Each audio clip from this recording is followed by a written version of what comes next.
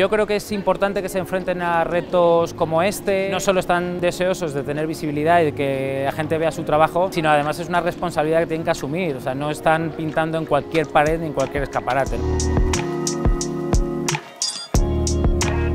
La intervención que están haciendo los alumnos actualmente en uno de los escaparates de la FNAC de la calle Preciado nace como un cargo, una propuesta que nos hace a FNAC a nosotros. Eh, trabajamos sobre un concepto que es eh, zona de paso. Tránsito es eh, la calle en la que estamos, tránsito visual es el que ofrece el propio escaparate. Es una oportunidad que se nos ha dado a los de Bellas Artes. Siempre es un reto intervenir zonas públicas porque no es lo mismo que trabajar solo. A partir de los bocetos originales que los alumnos habían generado, decidimos que distintos motores de inteligencia artificial interpretasen estos bocetos, que los alumnos han vuelto a trabajar y las han reinterpretado para volverlas a llevar a su terreno. Y al final han surgido ideas muy guays y son las que estamos trabajando aquí. No es la primera vez que nos apoyamos en inteligencias artificiales, pero sí que es verdad que es la primera vez que lo llevamos a algo así más profesional. Ver cómo todo el mundo va pasando, la gente se, se va parando, nos saludan, no sé, hace mucha ilusión. Obviamente es, es una oportunidad de oro para que sus nombres aparezcan en el escaparate de una de las calles más transitadas de Madrid y especialmente ahora en diciembre. ¿no?